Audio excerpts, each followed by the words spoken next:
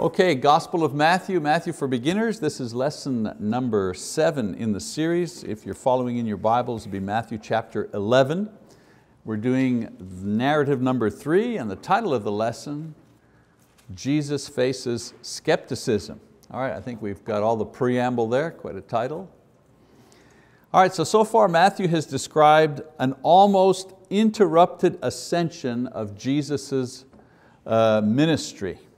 I mean, if you kind of look at what's happened, you've had the baptism at the Jordan, the voice from heaven, you know, the appearance of the dove, a miraculous uh, demonstration and confirmation of His person, the defeat of Satan in the desert, you know, in the wilderness, uh, miracles and ministry among the people, then He chooses and He sends disciples to preach and to heal in His name. You know, it's like just, just one way, just going up and up all the way. Now when we get to the third narrative, which is where we are now, Matthew describes the questioning that the Jews would begin to, uh, uh, to make about him and the questions would become more and more direct and aggressive as his ministry prospered. You know? So the better he's getting, the more people that are being drawn, obviously pushback. So there's going to start the pushback here.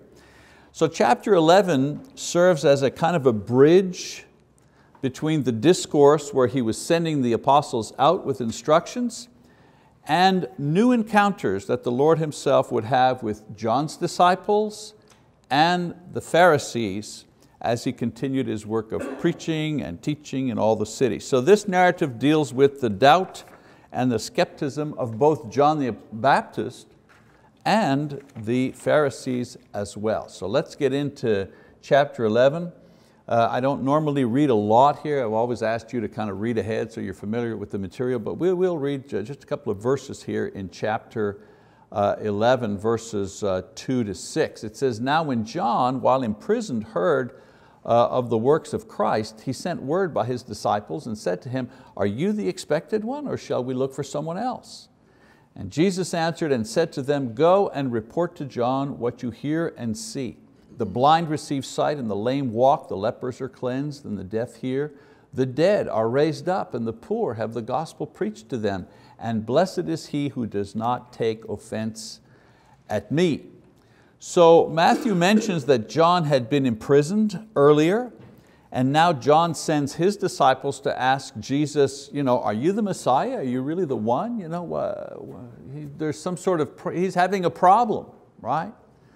So John is doubting and comes to Jesus through his disciples for an answer to his question. Now, John had preached that when the Messiah would come, there would be judgment. That's what he was saying. You better get ready.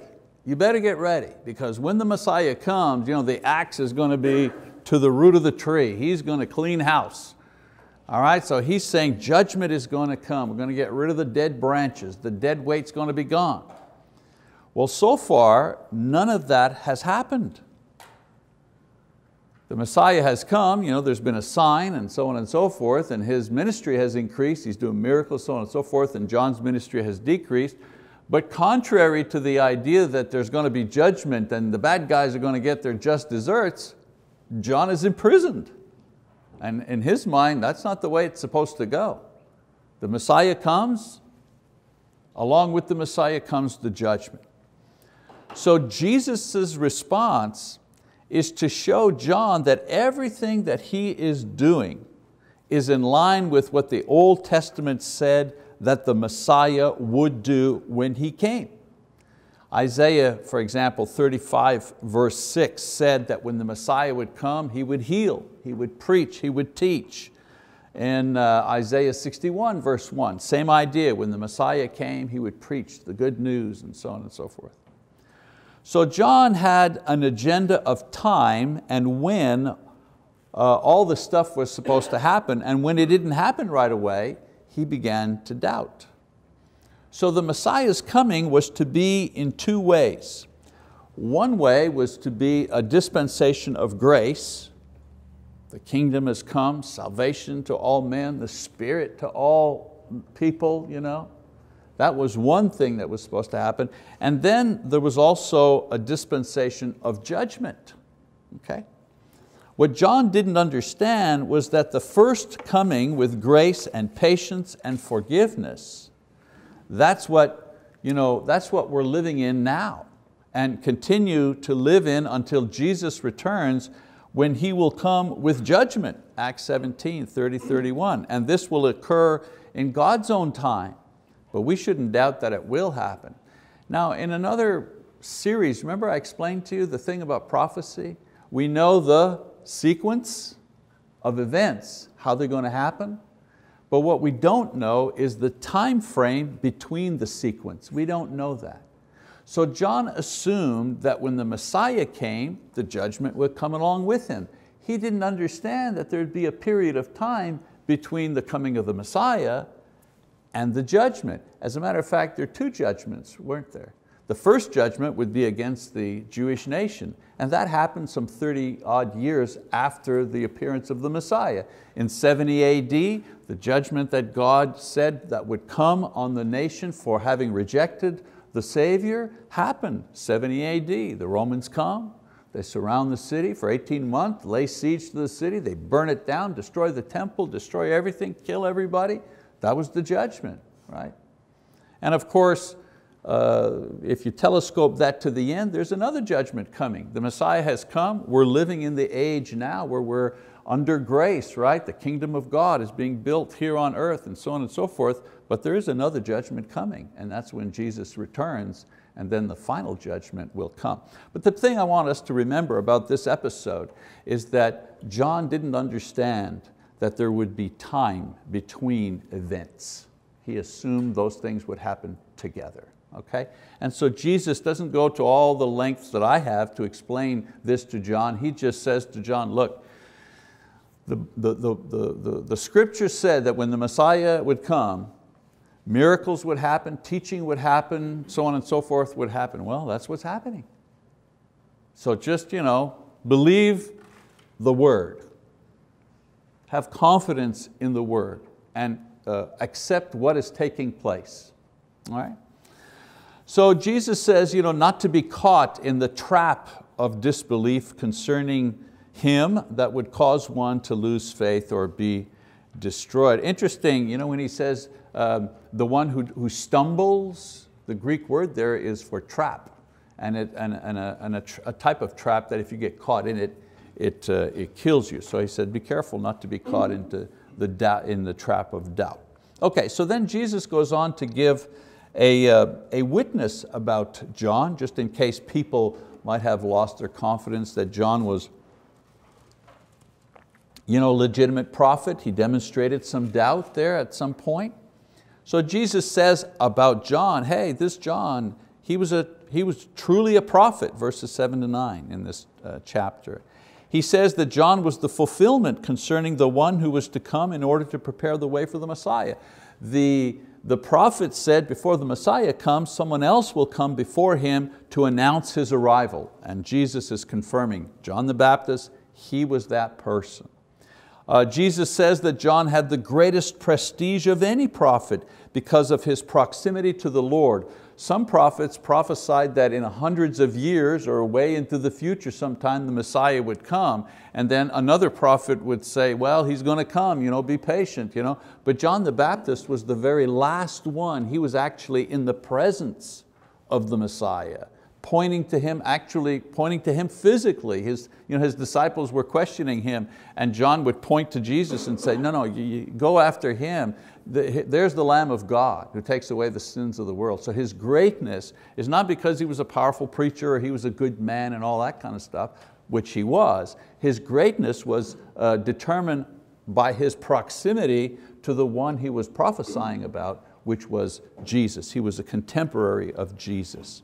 Now then, Jesus says, uh, he was great, but he's not as great as those who were in the kingdom. Kind of a contradiction, isn't it? Because you know, we're not great prophets and we're not, in, you know, we're not contemporaries of, of, of Jesus in the sense of when he was on earth.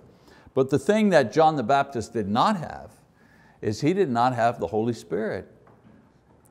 The power of the Spirit was working in him in his ministry, but he didn't have the indwelling of the Holy Spirit. And that was the great promise of the Old Testament. When the Messiah comes, not just the prophets and not just the kings and not just the judges and not just the Samsons and the Davids and the Isaiahs, not just those few will have the Spirit and have it just for a time. Everybody will have it. Young, old, male, female, free, slave, everybody will have the indwelling of the Holy Spirit. That was the kind of, that was the core of the promise. Okay, so that's why he says, as great as he was, he's not as great as the least in the kingdom of heaven. Why? Because every single person, the youngest person, the oldest, the poorest, the weakest person, all of them in the kingdom of God, they have the Holy Spirit within them. And already within them is the power to ultimately resurrect them from the dead. John the Baptist did not have that blessing. Then finally he said he was rejected, John was uh, rejected in the same way that Jesus will be rejected. So the, these are uh, the, the, Lord's comments concerning uh, John the Baptist. Uh, the kingdom, he says, is suffering violence, could also be translated to say that it is forcefully being established since John the Baptist uh, by John and by uh, Jesus. So in other words, the kingdom is coming to be, but not without problems, not without opposition, all right?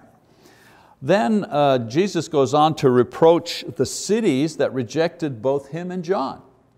You know, John's disciples question where the actual judgment was, and here Jesus reminds them and the disbelievers that a terrible judgment is coming. Now this particular passage may suggest degrees of punishment. You know, he says, boy, if you know, the people in Sodom and Gomorrah, they're going to suffer less than these people here, you people, you Jews today who are rejecting. And some people have kind of extrapolated from that that there's kind of degrees of you know, punishment, big punishment, little punishment. Uh, that's so if, if the meaning is the final judgment. However, the day of judgment uh, can also mean a time when they are punished as a nation. The day of judgment for the Jewish nation came uh, in 70 AD. That was their judgment. I mean, everyone will be judged at the end, you know, but their judgment as a nation came in 70 uh, AD. And the destruction of those other pagan cities, you know, Sodom and Gomorrah and so on and so forth, the point he's making here is that um, uh, these pagan cities who were much more sinful, much more immoral, was less painful than the terrible siege and suffering brought upon the Jewish nation in 70 AD. So yeah, Sodom and Gomorrah, yeah, they were destroyed and they were bad people, but they were destroyed, boom, you know, in a day. They were dead, you know, they were dead right away. Like you, you die in an earthquake, the building falls on top of you, you're dead. But the siege at Jerusalem, that lasted for almost two years. People were starving in the city. People were, you know, they were practicing cannibalism and they were killing each other and they were, it was terrible. And then when, they find, when the Romans finally came in, they just, you know, it's one thing to be shot, it's quite another thing to be stabbed to death by a Roman, uh, you know, by a Roman soldier carrying a, you know, a sword about that long, or to be beaten to death with a piece of metal. Uh, you know what I'm saying? So he's saying, uh, yeah, these other nations, these pagan cities, they didn't believe and they were wicked and they were punished. But their punishment was not as bad, if you wish, as painful, as long lasting as the punishment that will come on Jerusalem when that judgment comes. And also throughout history, the Jewish nation has suffered terrible persecution. I'm not justifying the persecution that they've suffered, but nevertheless, they've had to suffer a terrible persecution throughout history. And so the suffering, of course, will be long lasting and uh, will be uh, terrible. Uh, First and Second Thessalonians speak of a, a, an equal reward and punishment for believers and unbelievers. In other words, the unbelievers in the end, the punishment will be the same. To be away from God forever, you know, that's even worse than two years of siege, okay? And, and being with the Lord forever, nobody cares about who's got the best seat in the house. Everybody's got the best seat in the house, okay? All right. Uh, then the invitation and promise for those who accepted the message of John and the arrival of Jesus. He keeps on going and Jesus makes a prayer here. And he prays in gratitude for those who did accept the message. He prays in a sense, uh, making a promise to reveal the Father to all who come to the Son.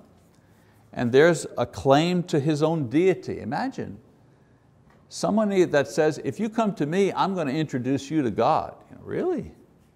So who can do such a thing? You know?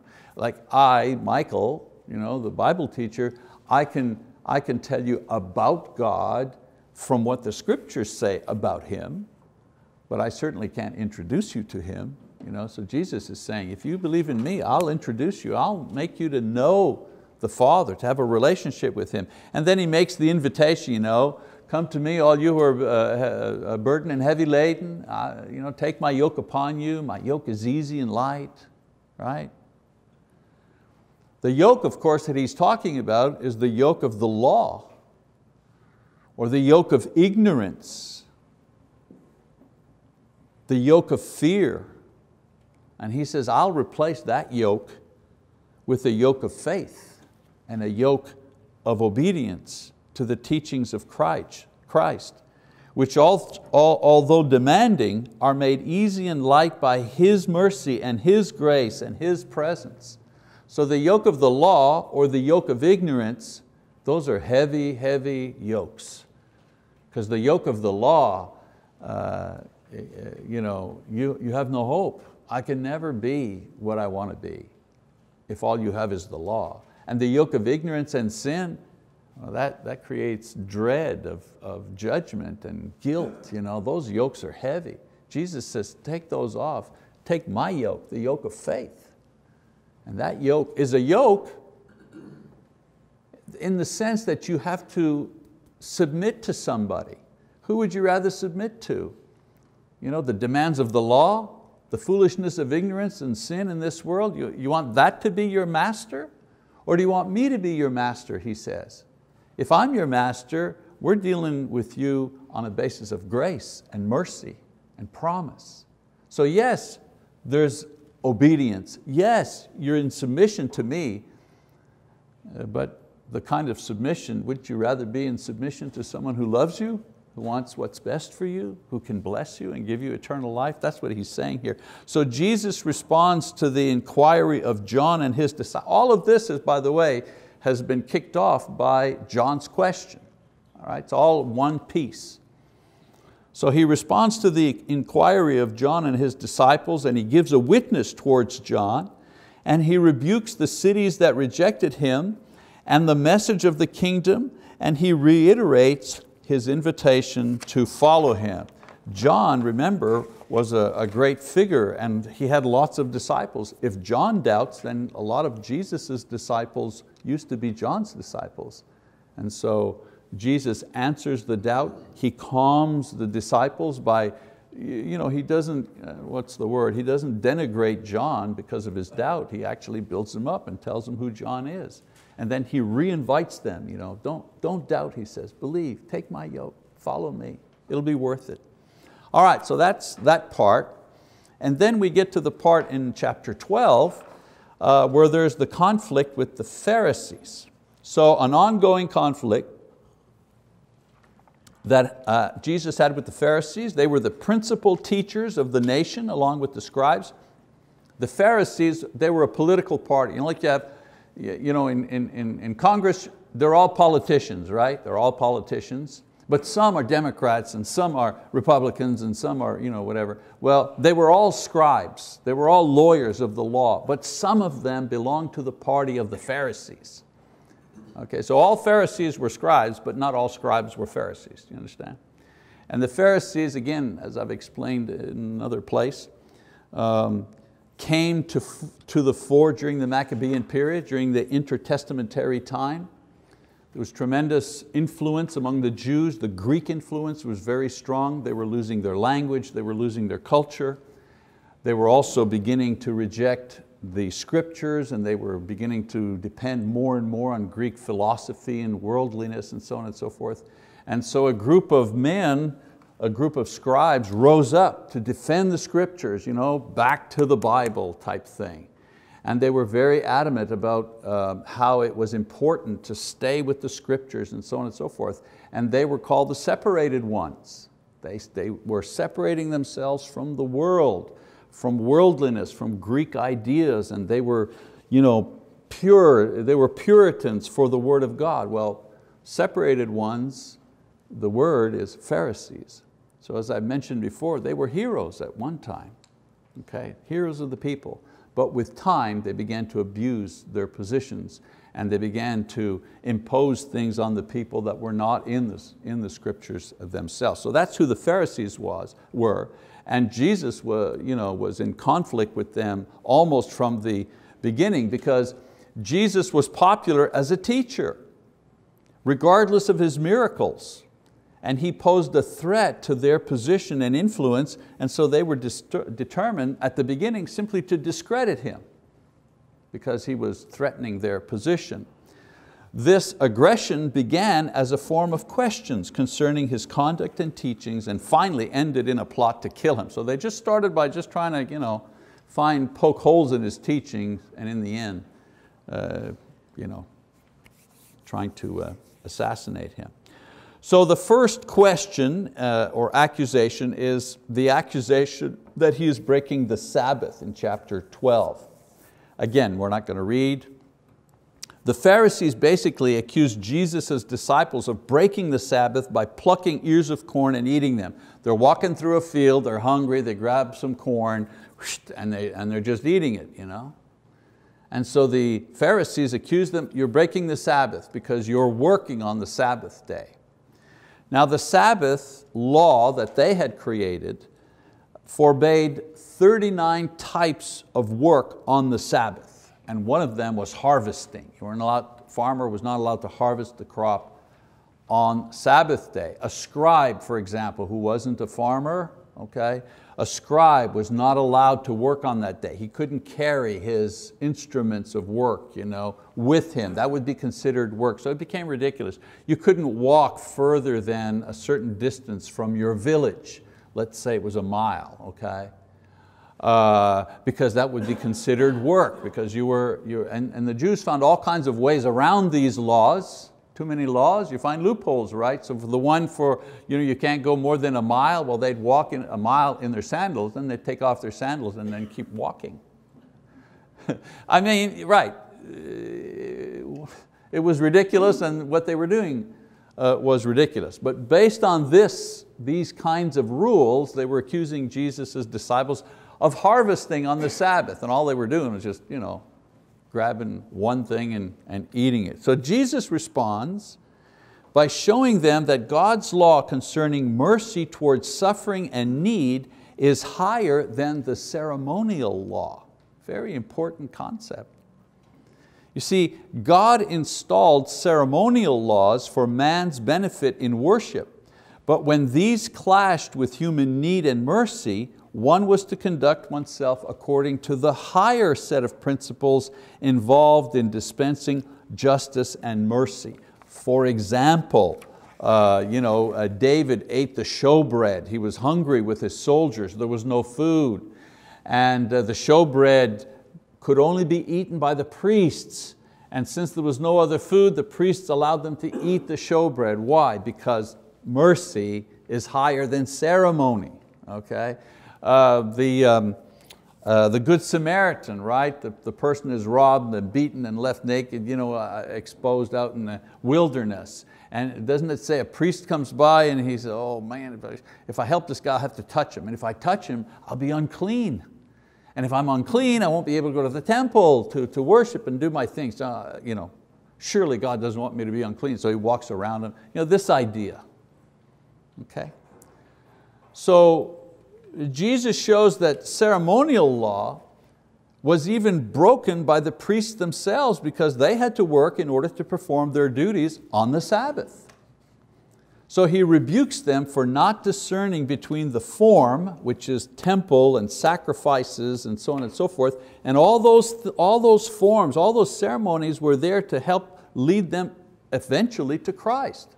What were the animal sacrifices but simply object lessons that you know, a, a, a, a life was required in order to atone for sins. That's all, they, they kept learning that object lesson for hundreds of years. And so the substance of the law and the substance of the law and the ceremony was Jesus Himself, the giver of the law, the reason for the ceremonies. You know, we have modern day examples. I don't want to go too deep into this here you know, because we're trying to do a textual study, but I think we can bring it home. Sometimes people get angry and upset at each other and refuse to have fellowship with each other because they, they differ on how the communion should be served. Some brethren, you know, they have unleavened bread and they have a cup, one cup of you know, fruit of the vine, and that's, and they pass that cup around to their members. Other congregations, you know, they use smaller cups and divide that cup up and, they, you know, and everybody gets a smaller portion and you know, hygiene, so on and so forth. And you have brethren that actually refuse to have fellowship with each other because they perform this ceremony in a different way. And they're forgetting that the whole point of the ceremony is to demonstrate our unity in Christ. So can you imagine creating disunity and using the ceremony that underscores our unity in one body in order to create that disunity.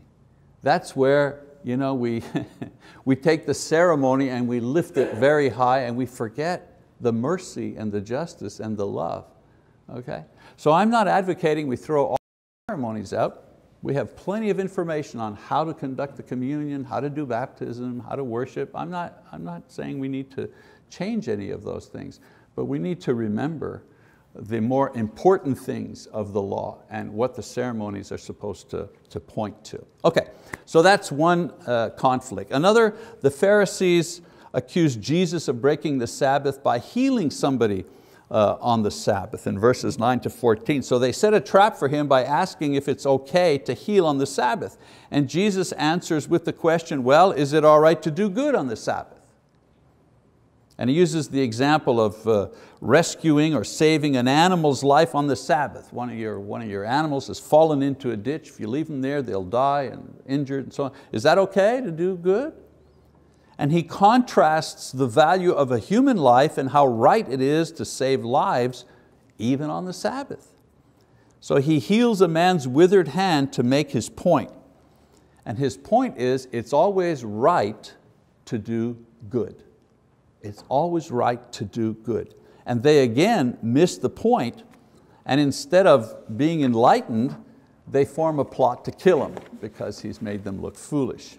Then uh, he talks about the fulfillment of prophecy, chapter 12. You know, uh, not Jesus, Matthew makes an editorial comment here. You know, Matthew is always careful to demonstrate how every facet of Jesus' life is in accordance with the prophecy concerning the Messiah. Remember, he's writing for the Jews. So here he weaves together uh, several verses from Isaiah chapter 42, which is about the suffering servant, along with other revelations during Jesus' life on earth, you know, when he says, uh, uh, uh, this is my beloved, you know, when, when God the Father says, this is my beloved. He weaves these together to demonstrate that His meekness, Jesus' meekness, and His refusal to debate or clash with the Pharisees at this time is in line with what was said about Him by the prophets. It wasn't that he was afraid to get into a fist fight with the Pharisees and debate them like they did. In those days, they liked to debate. One would put forward an idea, the other one would come forward an idea, and it was a debate. Jesus didn't debate them. And Matthew is saying, is, is, is going back into the Old Testament to explain Jesus is not debating these people, not because he is afraid or he doesn't have an answer, He's not debating them because the prophets said that when the Messiah will come, He's not going to be a brawler. He's not going to be a debater, you know, fist fighting uh, with, with the Pharisees. He's not going to act like they act. He will be meek. Matthew also introduces the idea that the prophets also saw the Messiah bringing salvation to the Gentile world as well as the Jewish nation to prepare for when, when Jesus would do this as well, or rather when the Jews would do this as well, in other words, uh, Jewish Christians reaching out. So then another accusation comes in and that is association with um, Satan in chapter 12. So Jesus performs a healing of a blind and dumb man who was also possessed by a demon and the crowd begins to perceive that he just may be this Messiah based on prophecy because of this miracle. Nobody's ever done that before. And the Pharisees counter by accusing Jesus of performing miracles by the power of Satan. So Jesus re responds to them in verses 24 to 37. And what does He say to them? First of all, He says, your accusation is, illog is illogical that I can cast out demons by the power of demons because this would mean Satan is fighting against himself. And even this, if this is so, he would be destroyed. You know, a house divided against itself cannot stand.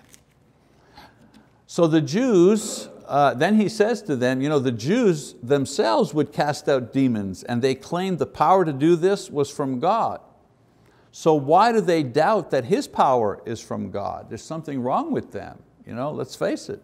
I mean, um, if you ascribe the identical effect on two different causes, then you know, you're confused. If you people are casting out demons by the power of God, how can I be casting out deacons, by, de, not deacons, demons? Is that a Freudian slip? Anyways, how can I you know, cast out demons by Satan's power? You know, it doesn't work that way. So Jesus doesn't allow them to escape the obvious conclusion that if His power is from God, then what He claims is true. That's the problem. So the miracle not only demonstrates His power from God, but also that His power is greater than Satan's power. And then the final conclusion is that those who accuse Him or are not for Him are automatically against Him. There's no neutral ground. You know, he came to sow the seed, he came to catch the fish, he came to find the sheep, and those who are against him, they do the opposite. They scatter the seed, they lose the fish, they can't find the sheep, they scatter the sheep, and this will always be the work of the devil. He will always, always try to undo the good that Jesus does and His disciples do. And then Jesus rebukes them for their false accusations against Him. So blasphemy here comes from two words meaning injure and speech, injurious speech. You know, the blasphemy of the Holy Spirit, that's in this section here.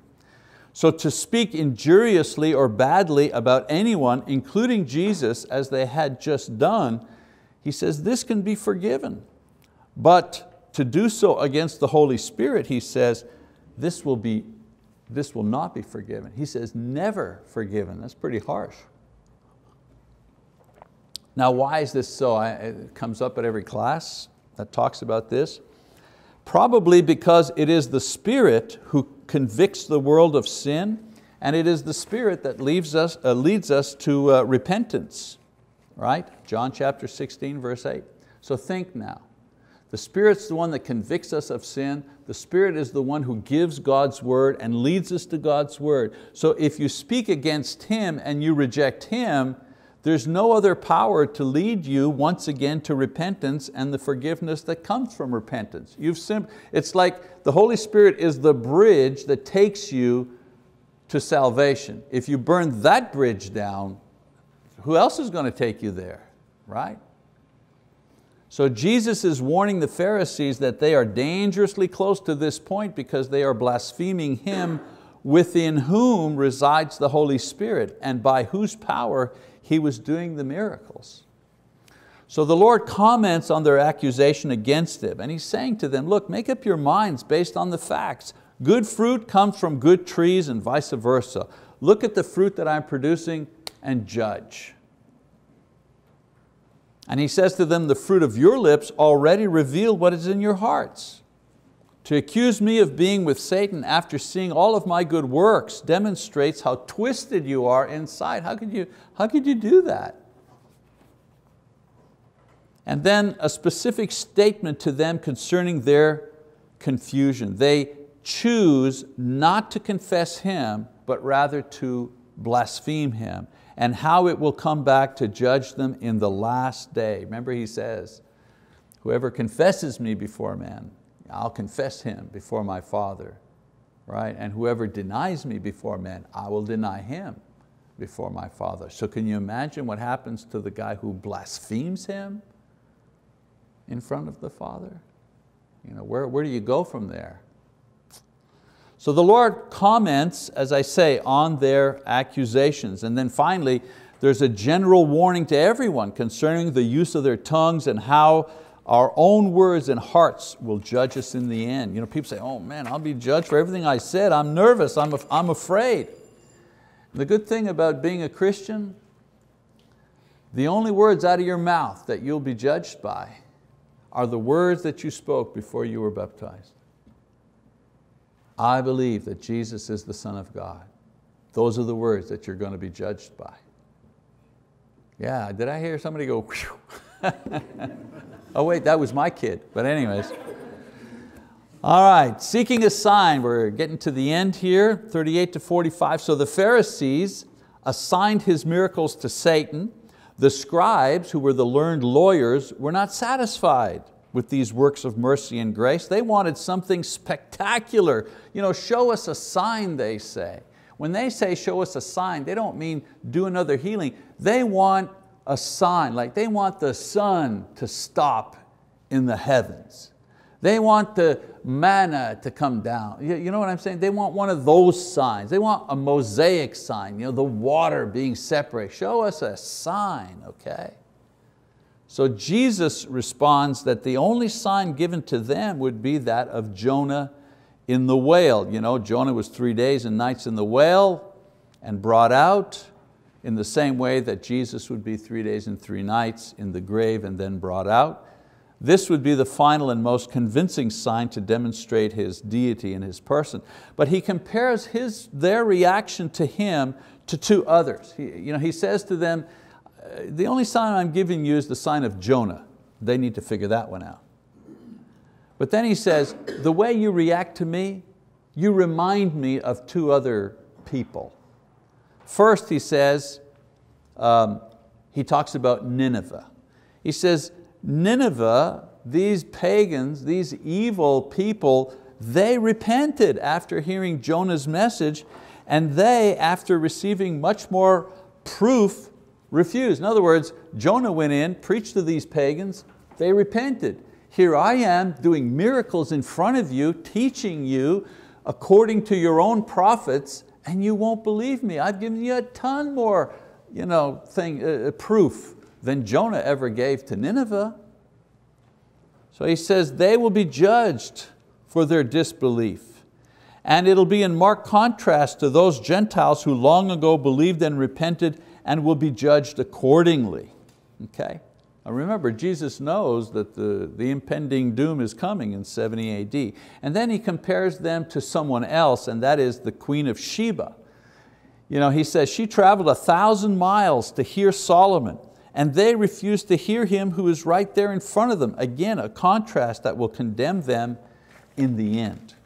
So he gives an illustration that pictures the generation of Jews that he's talking to as a man possessed. So let's read this passage here. It says, now when the unclean spirit goes out of a man, it passes through waterless places seeking rest and does not find it. Then it says, I will return to my house from which I came, and when it comes, it finds it unoccupied, swept, and put in order.